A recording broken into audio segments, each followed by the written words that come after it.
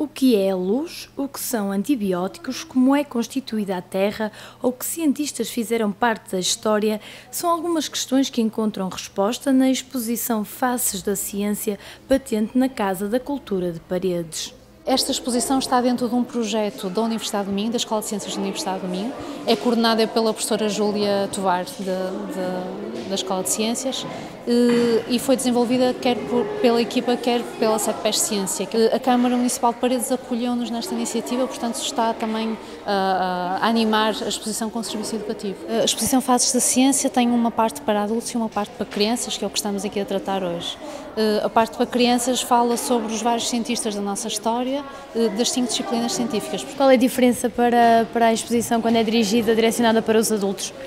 Uh, principalmente na forma, na, na, linguagem, não é? na forma de abordagem com os temas. Se calhar há, há, há, há pormenores que interessam mais os adultos, como por exemplo a, a vida de um cientista, não é? quem é essa pessoa.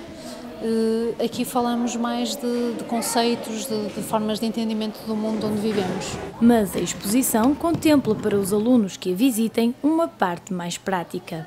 Eh, lá embaixo o que nós estamos a fazer é, são atividades sobre a luz, que são todas baseadas na, na, na, compreensão de que a luz é composta por várias cores, o que é, que é uma radiação. Uh, mas são, são atividades que estão abertas à quarta-feira quando recebemos aqui escolas.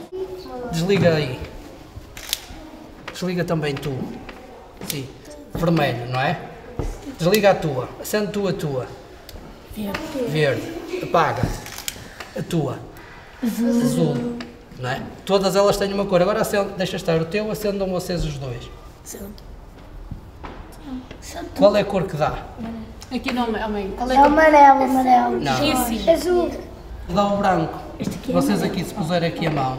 É fazer o arco-íris. Conseguem ver ali várias cores. Depois da teoria assimilada e dos conhecimentos postos em prática, fomos saber o que aprenderam os alunos da escola EB1 de Igreja que estavam de visita à exposição. Gostaste da exposição? Adorei. Adoraste e porquê? Porque aprendi muitas coisas sobre a luz e uh, algumas coisas sobre a Terra. A geologia muitas mais coisas. Uh, lá em cima vocês preencheram um questionário, uh, era difícil? Um bocado. Mas conseguiste responder a tudo? Consegui. E cá em baixo, o que é que vocês estiveram a fazer? Tivemos a ver as, algumas coisas, aprender mais sobre a luz e a, a ver assim como é que a luz se, se transformava as, luzes, cores, as, as cores do arco-íris em luz branca. O que te chamou mais a atenção? Um, geologia. E porquê gostas? Gosto. E o que é que aprendeste? Aprendi que antigamente os continentes eram juntos e agora não estão juntos, estão separados. Dos temas que, que esta exposição aborda, há algum que tu gostes mais? Os continentes. Até ao final de outubro, a Casa da Cultura tem as portas abertas para todos os interessados em saber um pouco mais de ciência.